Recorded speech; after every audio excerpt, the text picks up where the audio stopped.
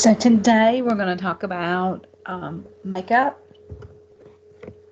And the field of artistry is a very segment of cosmetology. The makeup application techniques vary greatly as the skin types and personalities of your clients.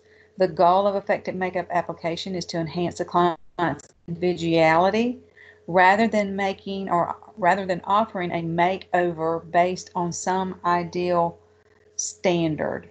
So everybody has a personality, they have personal choices, lifestyle that goes into their choices of what type of makeup, what type of look they like to wear. So foundations are tinted cosmetics that are also known as base makeup, and these are used to cover or even out skin coloring, conceal minor imperfections of the skin, and protect the skin from climate, dirt, and debris. They're available in liquid, stick, and cream forms, and primer, which is used under the makeup, helps to disguise less than perfect skin. So it's even in primer evens out your canvas. It kind of fills in um, your pores and, and you know if you've got shallow scars. So your makeup will uh, lay more evenly over your skin. It keeps your makeup from sucking the moisturizer out of your face, and it helps your makeup to last longer. So liquid foundations are water-based with emollients. Oil-free, these are for oilier skin. And then cream-based or oil-based, and they are thicker than liquid. Um, they provide a heavier coverage with your cream base, and they're also usually intended for dry skin types. They're not recommended for active acne skin. So we want to read the labels on our oil-free to make sure that it is indeed tested to be non-comedogenic for oily and acne-prone skin. And then the liquid makeup, um, it's made up of water mostly, and it may have some emollients such as mineral oil or silicone. Um, and this mixture of oil and water helps apply the makeup color agents evenly. Concealers, these are going to help to hide dark circles, they're going to cover blemishes and discolorations, and these are available in tins, jars, or tubes with wands, uh, liquid, cream, stick. Face powders, these are going to add a matte finish, absorb oil, and set your foundation. They can come loose or pressed. They're a mixture of talc or cornstarch and pigment. And not all powders are matte. You can find some that, you know, add some luminosity, some that maybe have some shimmer, um, just depending on your preference. The shimmering, um, if it's got any type of iridescence, if you have older, more mature skin, it's going to accentuate your lines and wrinkles. So eyeshadows can accentuate your eye shape. They complement your eye color. And our law of color that we learned with hair coloring can apply to um, selecting colors for um, cosmetics also. Eyeliner is used to define the eyes. It can make it can make the lash line appear fuller. You know, some people like a thicker line with a flick, or some people go full cat eye. Some people just want a thin line. Um, so there's pencils, there's liquids, there's felt tips. Um, there's an array of selection out there. You just have to find the one that works best for whatever particular eyeliner style you're wanting to apply.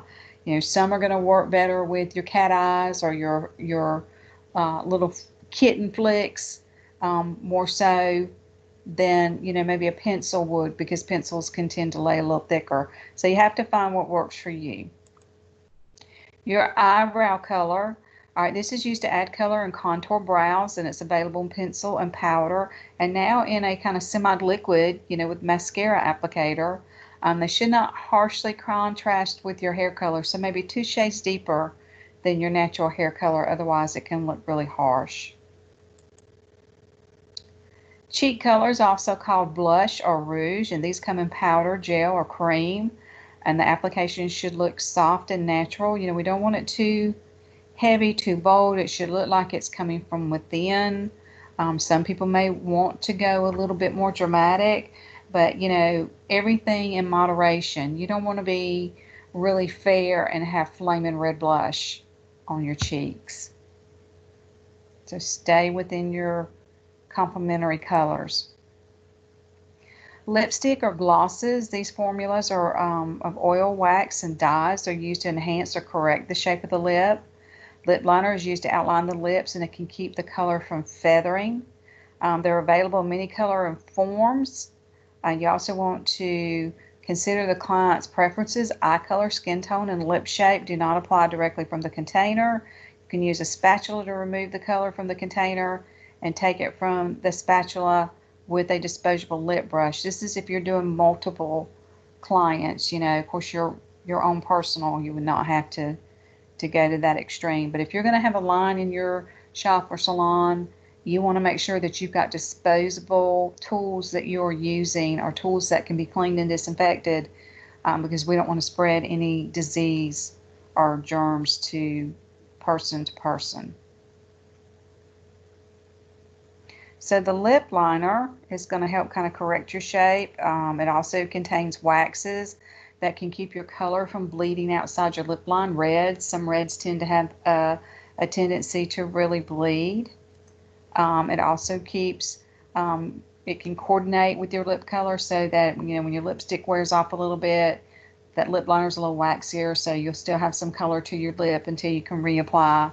And these should be sharpened and sanitized before every use. You can sharpen them, you know, with your pencil sharpener um, tool, and you want to make sure that you're cleaning that out with um, a Q-tip or something with alcohol on it.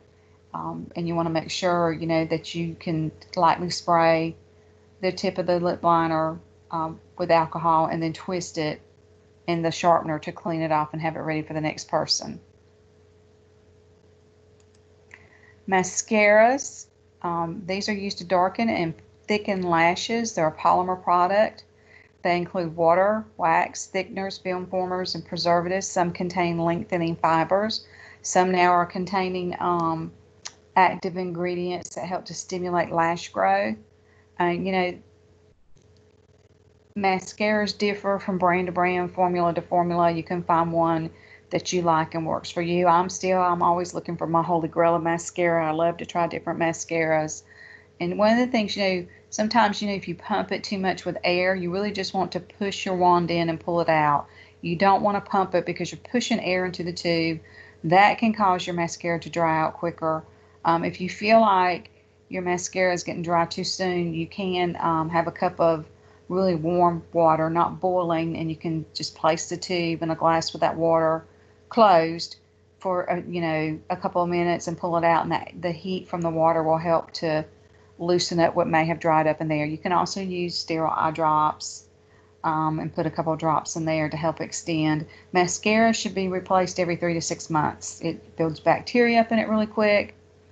Um, you know, we have bacteria that lives on us and we have it that lives on our lashes.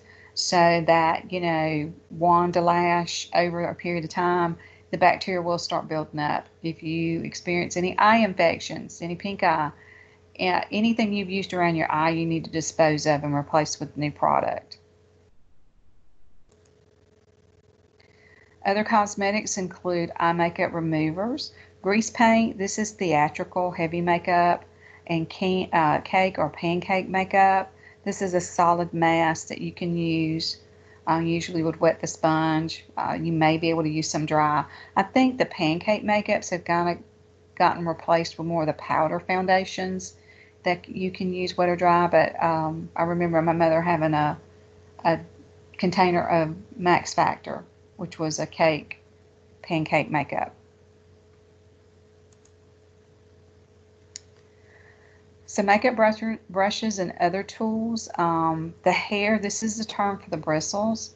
Bristles can be made from animal hair. They can be synthetic. And I think, you know, some of your PETA uh, people, um, animal activists are pushing more toward the synthetic.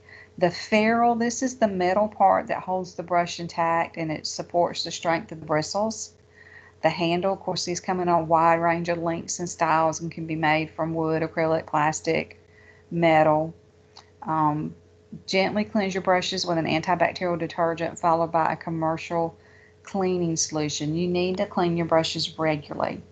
Um, you've got some that you use more frequently, every two weeks, but at least once a month.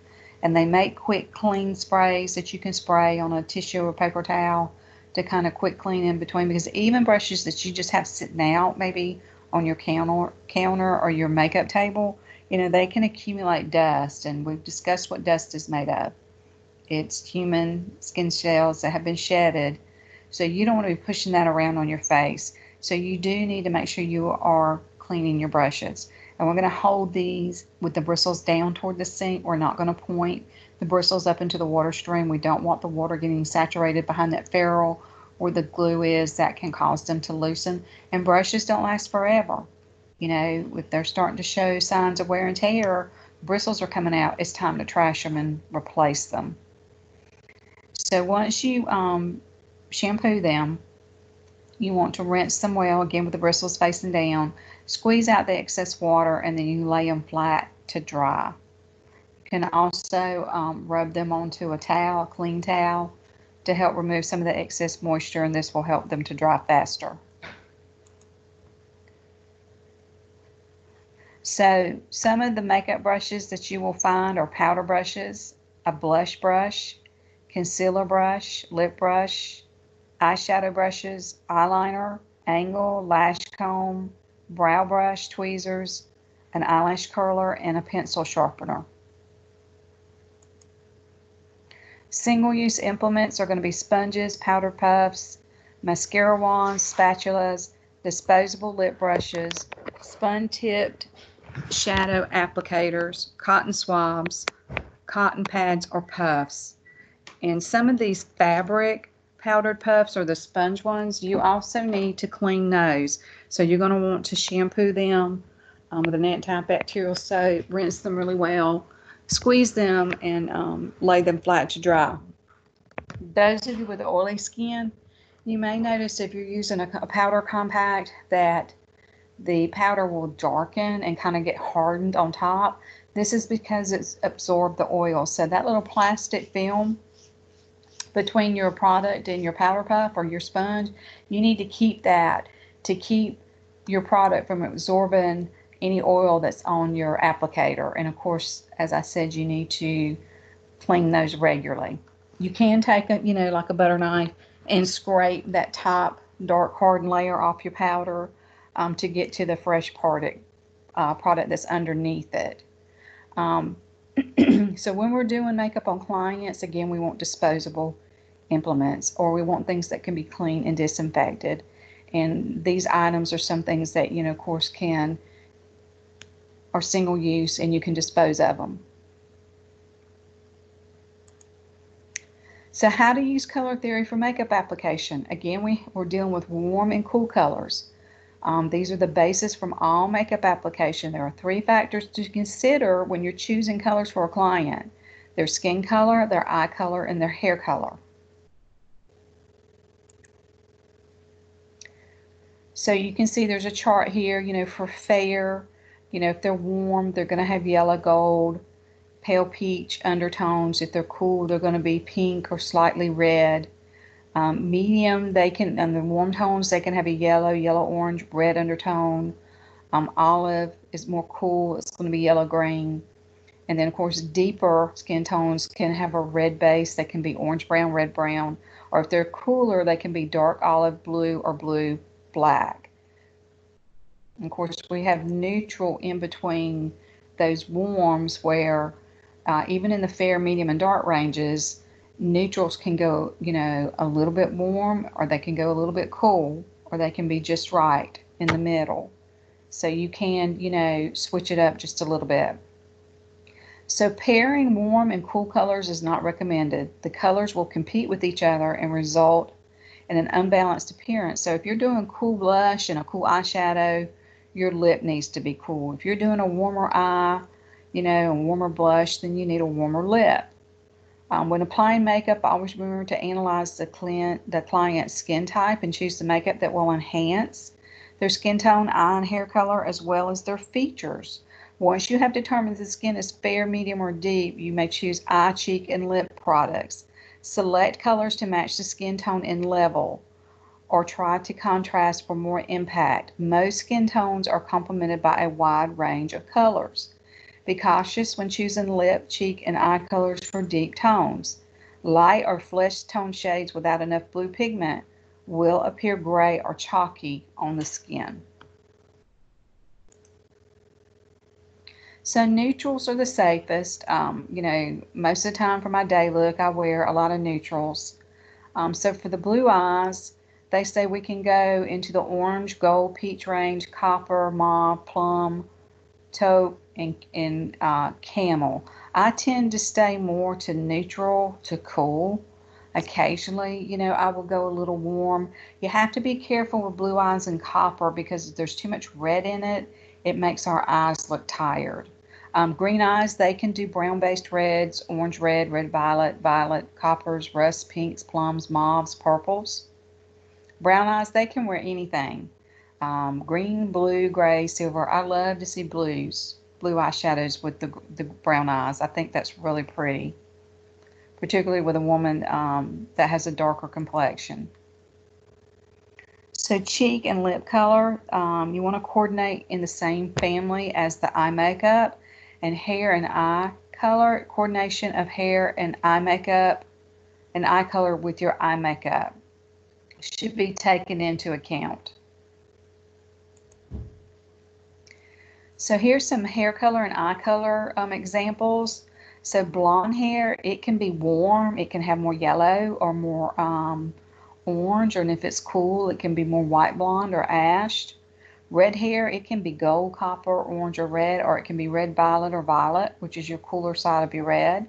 Because not one red fits all, not one blonde fits all, as we talked about in hair color. Um, dark brown or black hair, copper red, or your cools would be your violet and your blues. So mature skin, you know, older clients that may have an uneven textured skin due to wrinkles or sun damage, you know, we don't want to do a lot of shimmer, glitter, or frosted colors because they can accentuate dry patches or wrinkles. Um, I still feel safe with a little bit of shimmer on my eye. On, I, you know, I don't do like glitter, glitter, but mature women can still have a little bit of a subtle shimmer, you know, and it depends on, you know, the appearance of their aging. You know, you can just gauge if someone's, you know, got deeper wrinkles under the eyes and that kind of thing. You know, you don't want to get real shimmery. Um, and keep things a little bit more matte, like moist matte, not dry matte with mature skin. You can also have a little something, you know, a primer or a foundation that, you know, provides more luminosity um, because nobody wants to look like that dried, powdered look. So, um, altering face shapes with highlight and contour.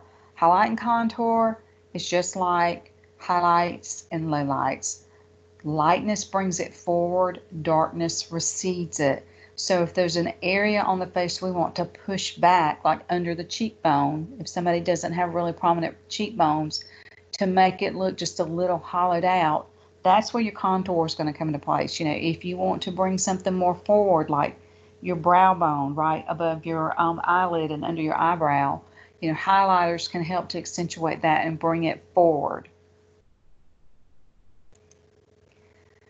So analyzing the face shape, of course, oval we know is the most preferred um, face shape. It's artistically ideal in its proportions and features. The face is divided into three equal horizontal sections. The first is measured from the hairline to the top of the brows. The second is measured from the top of the eyebrows to the end of the nose. And the last third is measured from the end of the nose to the bottom of the chin. And this oval face is approximately approximately three-fourths as wide as it is long, and the distance between the eyes is the width of one eye. So this is what photographers are looking for um, for models when it comes to photographing, are these proportions and these balances and symmetries in their face. So I know we've seen some models that, you know, we if they ever appear without makeup on, we're like, oh my gosh, you know, she's really not a stunner. But of course, you know, once they put her makeup on and her hair's done, and the symmetry of her face makes her photograph beautifully. So a round face, of course, is broader in proportion to its length. We have a rounding chin and hairline, and we can apply corrective makeup to slenderize and lengthen the face. So you can see here where they've shadowed her because what they're trying to do is create length and take away from the roundness. So that's going to kind of recess that area in, you know, to narrow it in a little bit and make it look a little bit more angular. Um, square face shapes, um, these have a wide forehead and a square jaw. So we'd want to apply corrective makeup to offset the squareness and soften the hard lines of the face. So we can do a little contour to round it off, um, do a little highlight to kind of bring some features forward to take away from the square. Um, triangular face, again, we're going to shadow to narrow that wider area. Um, because you, can see if you come straight across here and down and down, um, that's a triangular face. So we want to narrow that broader area because the jaw is wider than the forehead. So we want to recess this in. Heart shaped, um, you know, the forehead has a wide forehead and a narrow pointed chin. So we want to um, balance the wideness of this with the rest of the face. So we're shadowing to shave off some of the width of that face.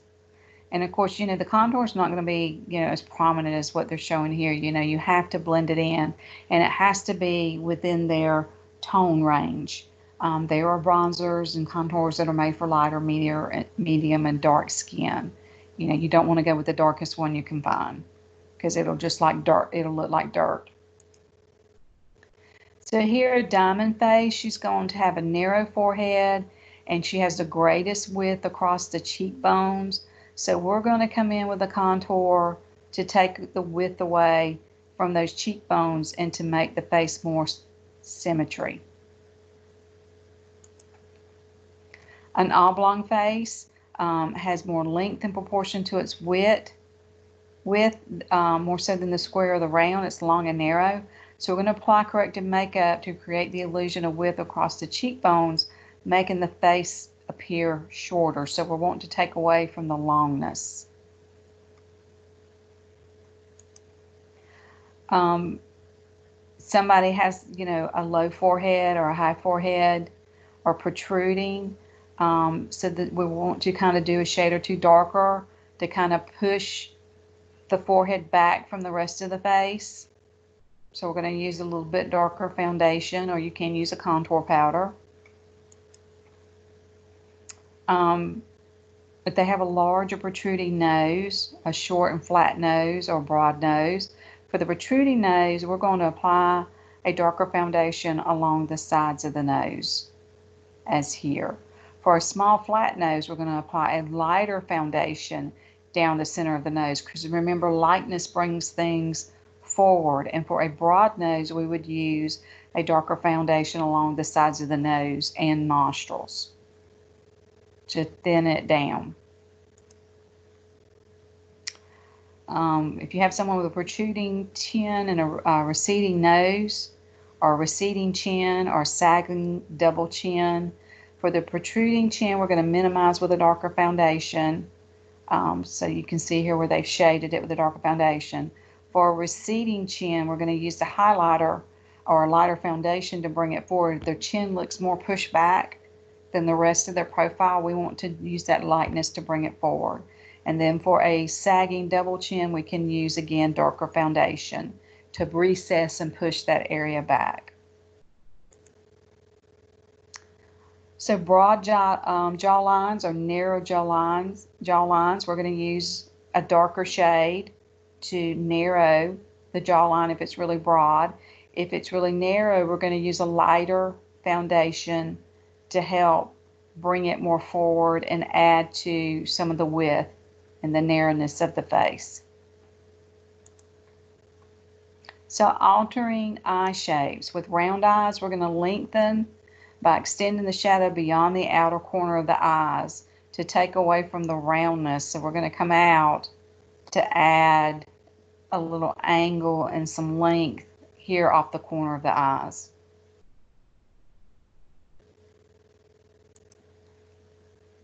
Close set eyes, we're going to, um, close set eyes are closer together than one length of the eye.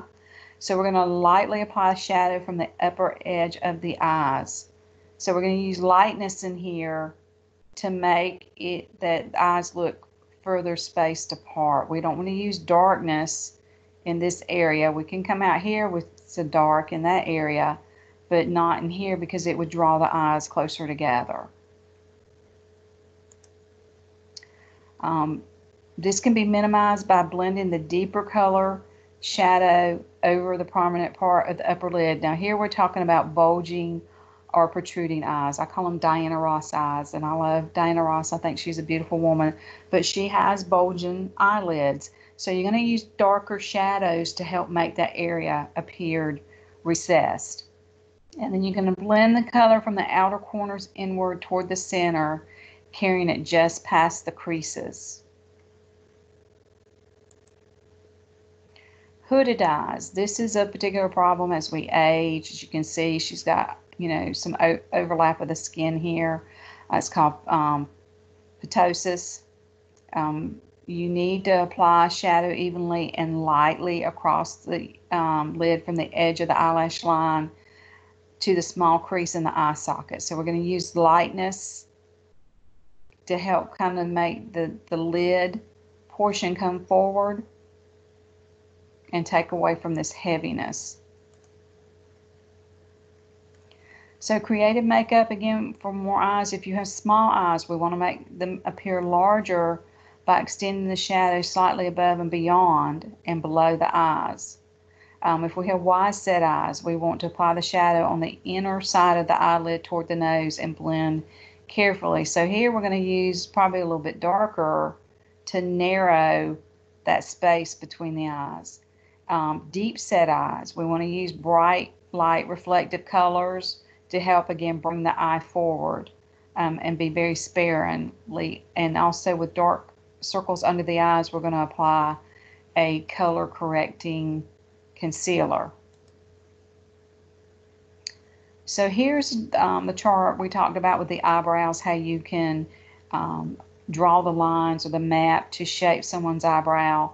Um, you know, it should end, you know, when if you lay a pencil right here from the tip up the side of the nose because sometimes we tend to take the brows a little bit too far inward from tweezing or waxing. They really need to be extended out a little bit further. We're going to come right outside that iris here. This is where the arch should stop, start. And then, of course, the end should land right here off the corner of the eye. And again, you can use a pencil, you know, to get your angle and just um, lay it and then take your little eyebrow pencil and just make little checks in these areas to where you need to shape. Um, of course, nobody's eyebrows are perfect, so that's where your brow pencils and powders come in. So you can fill in those areas and extend where you need to.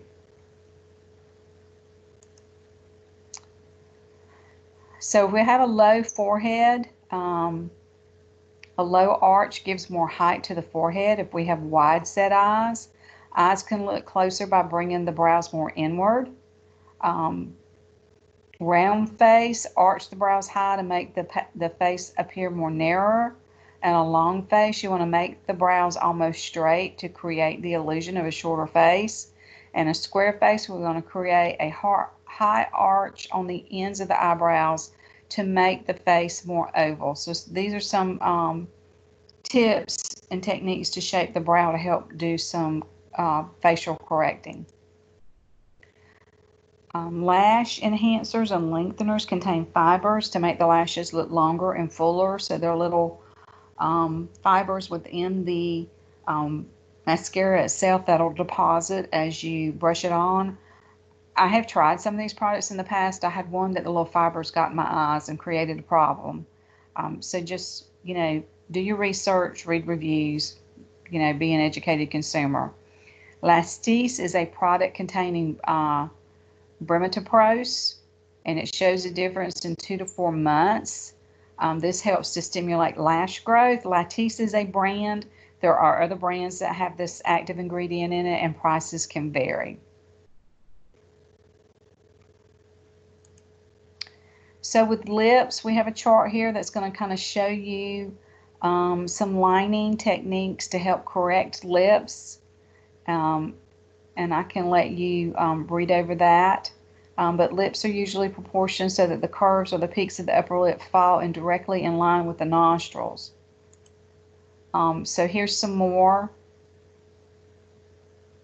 shapes and tricks and tips to um, help you correct lip shapes. Here we go. Now I can enlarge it. I couldn't see my other one. So here, you know, you see we're, we're trying to add some width. Here we might have small lips that we want to make them appear bigger. Now you don't want to come way outside a lip. You know, you need to stay, you know, in proportion with the lip line so it looks natural. Um, you know, small mouths, drooping corners, you can see, you know, these corners turned down can make us look frowny. Here the lip shape is uneven you know, it's, it's asymmetrical, so it's not the same on each side. So it's showing you a method to correct it.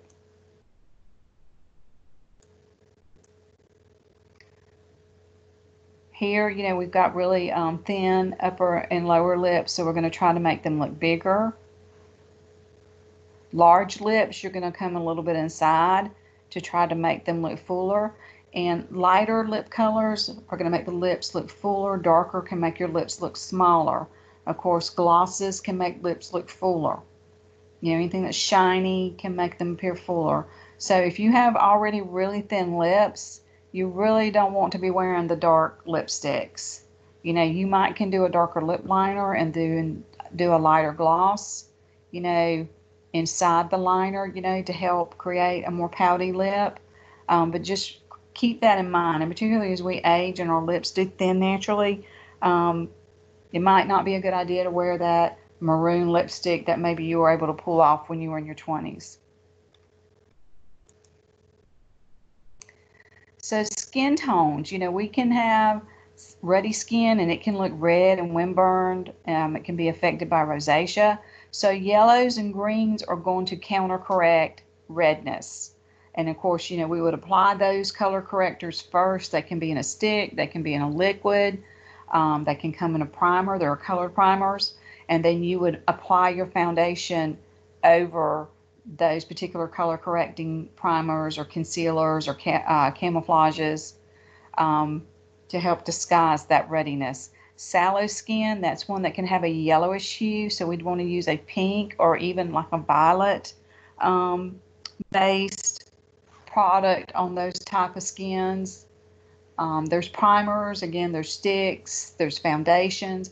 I'm not a, you know, unless somebody is just like really, really that porcelain like skin, I'm not a big fan of pink based foundations. I would tend to go more neutral and use a color corrector underneath.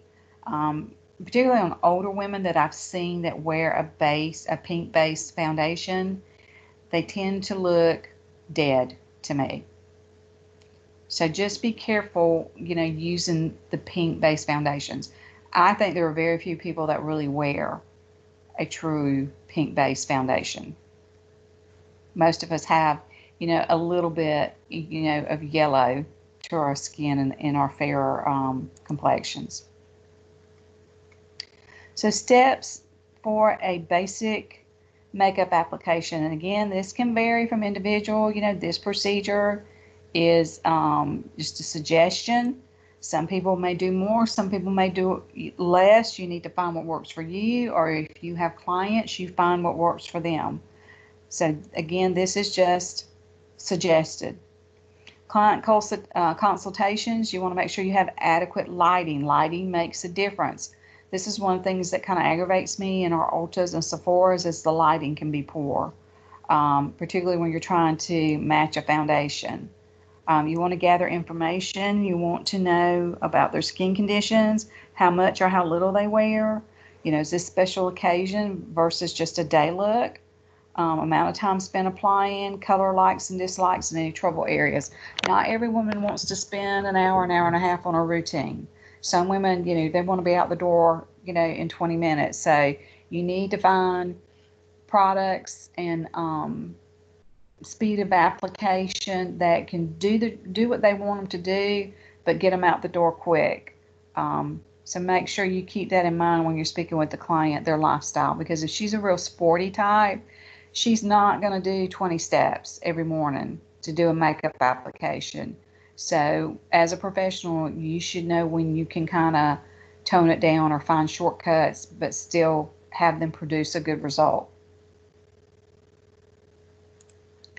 So, applying foundation, we need to match it to their skin tone. You can see this one looks like it has a lot of pink in it. Um, you know, this one's got um, more orange in it. So every makeup has undertones. So we want to make sure we match it to their exact skin tone. If it's too light, you'll appear, you'll will appear chalky or gray. If it's too dark, you'll look dirty or muddy.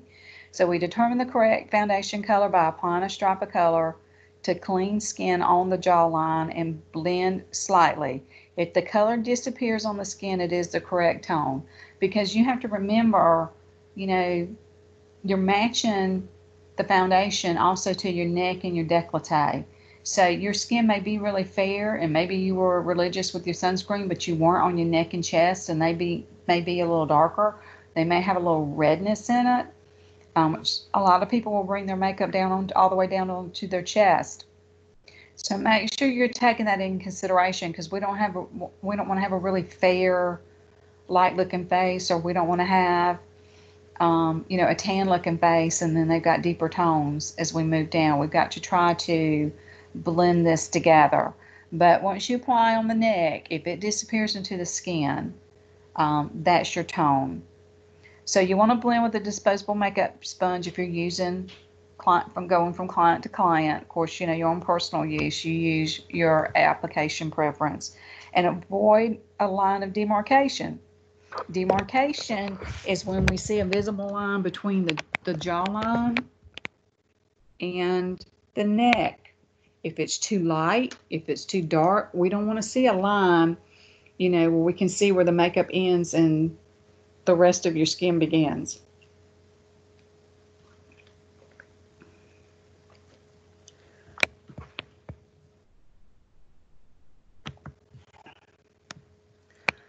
So some steps for basic makeup application.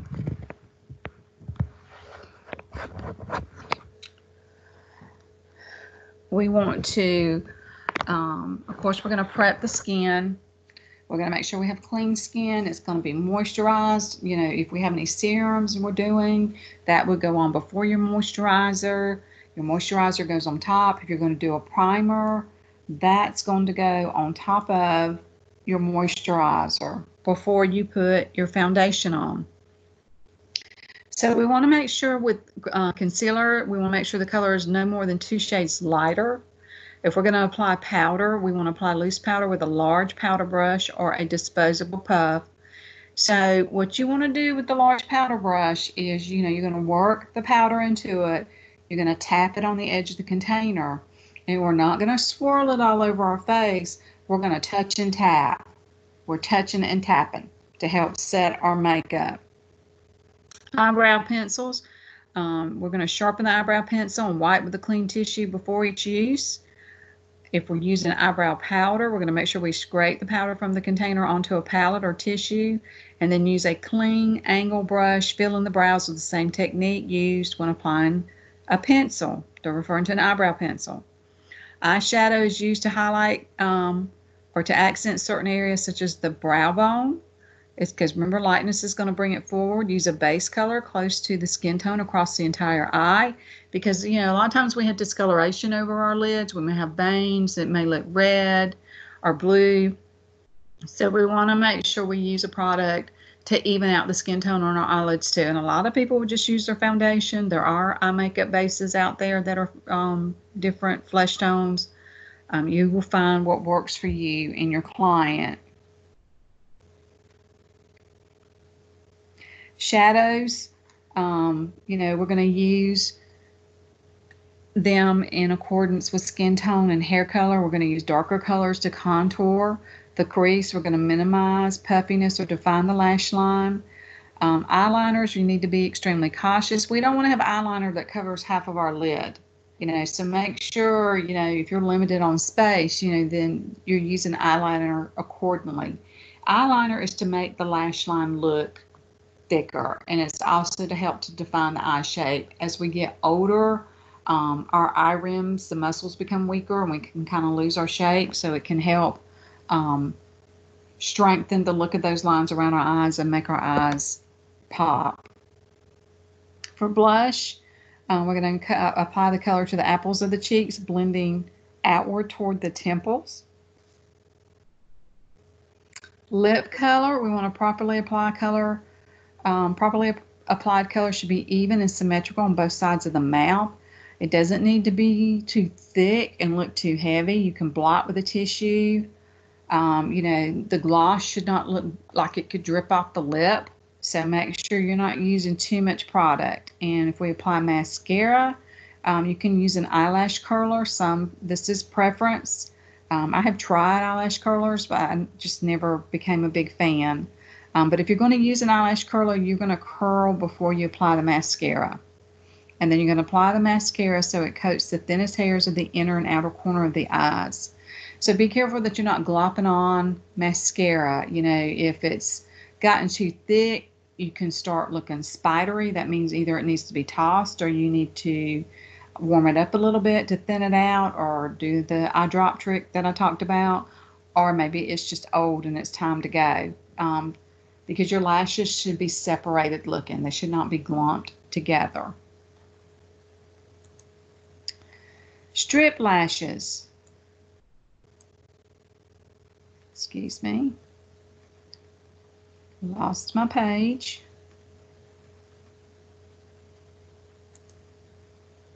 Um, these, um, you want to make sure you have the correct color and the correct length. Um, you're going to remove the strip lash. Be sure to use cotton pads that are saturated with makeup mover. And individual lashes, we call this lash tabbing. Um, and eyelash adhesive is, adhesive is used to make artificial lashes adhere, stick to the natural lash line. Make sure you're using a glue that's eye safe. I know I've heard of some people using hair glue. Um, just be careful. Um, they say it works better than the adhesive that comes with the strip lashes or the individuals. But always, if you're going to pursue this as a specialty in your career, make sure you get additional training, make sure you are certified. Um, strip lashes are not meant to be worn for days and days and days. Remember, we talked about, you know, little mites and things that live on us, and they live in our lashes too. If you want to see what they look like, Google some uh, magnified pictures and they love that lash glue. Even little tiny lice love that lash glue. So make sure that you are educating your client um, on how to be safe and sanitary when wearing these artificial lashes.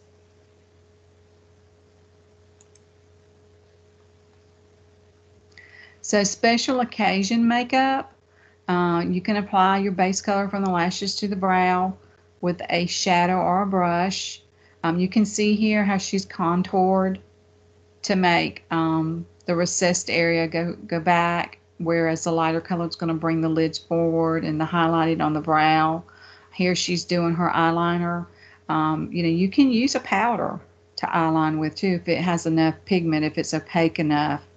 Um, so it's all preference. Um, and again, we want to have disposable supplies when we're doing clients. We can use a darker blush um, under the cheekbones to add definition. Uh, we want to apply with a blush brush and blend carefully. We can add a brighter, lighter cheek color to the apples and blend. Use a cheek color with shimmer or glitter. Um, again, if you're in a wedding, you're going to a dance, you know, some other special occasion, you know, you can be a little bit more blingy. You just don't want to look like you poured glitter all over your face. And these can come in cream or powder forms. Um, you want to line the lips, fill the uh, fill it with a lip pencil and blot, and then add lip color.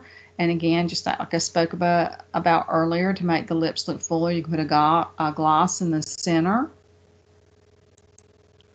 So this is just kind of a quick overview, you know, some contouring, shadowing, highlighting, um, the basics of makeup, you know, in their different um, viscosities and forms and components they come in.